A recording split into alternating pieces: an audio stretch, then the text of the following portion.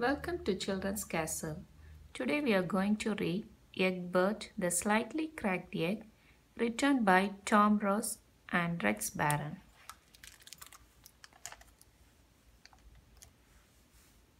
There once was an egg named Eggbert. He loved to paint beautiful pictures. Eggbert's paintings always cheered up the other eggs in the refrigerator. But one day it was discovered that Eggbert was slightly cracked. Eggs with cracked shells were not allowed to stay. Sadly, the other eggs told Eggbert he would have to leave. Eggbert waved goodbye to his old friends.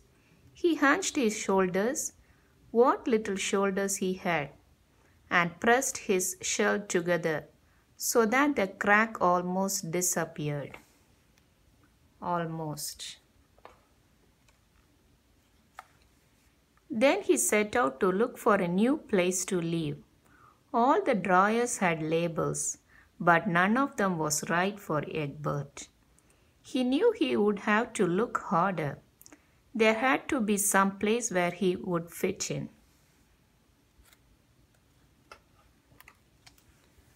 Before long, Eggbert came to a spot with a beautiful view. If only I could stay here, he thought. Then he had a great idea. No one had to know that he was an egg with a cracked shell. He would paint himself to look like the other things around him. He did blend right in. But just as Eggbert was thinking, he did found the perfect place. A potato plant happened to notice his crack. Split, the plant ordered. Eggbert tried not to be discouraged. Maybe I will have better luck outdoors, he said to himself. The only way down was to jump. Luckily, Eggbert landed in a soft bed of flowers. He had never seen flowers before, but they smelled even better than butter and lettuce. Perhaps this is the perfect place for me, he thought. A dab here, a splotch there, viola. Eggbert was covered with flowers. But late that afternoon, an angry bee discovered that you cannot get nectar from an egg. Again, Eggbert was told to leave. It was getting dark, and he still had not found a place to live. Just when he was about to give up all hope, a glimmer of something caught his eye.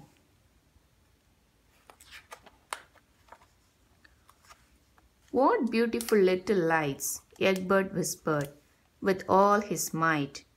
And twice his usual care, he climbed up the fence. Perfect, Eggbert said, when he was covered with stars. But the next morning, when the night stars were gone, a cat discovered that Eggbert was just an egg with a cracked shell. Scramble, said the cat. Eggbert took a hard fall on the sidewalk. Now he was more cracked than ever. As it started to rain, he began to sob. He realized that no matter how he painted himself, he could not hide who he was.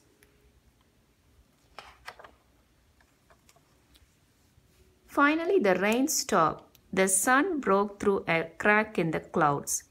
Eggbert began to notice something he had never noticed in his life. The world was full of cracks, all sorts of wonderful cracks. Maybe it's not such a bad thing to be slightly cracked, he thought.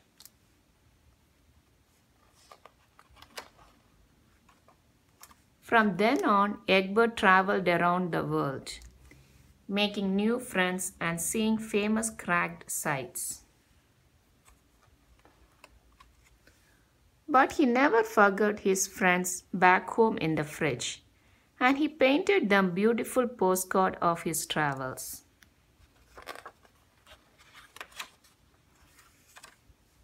They were well and truly amazed, and they missed him, if the truth be told. To this day, Eggbert does not regret being cracked. In fact, he is even a little proud of it. The end.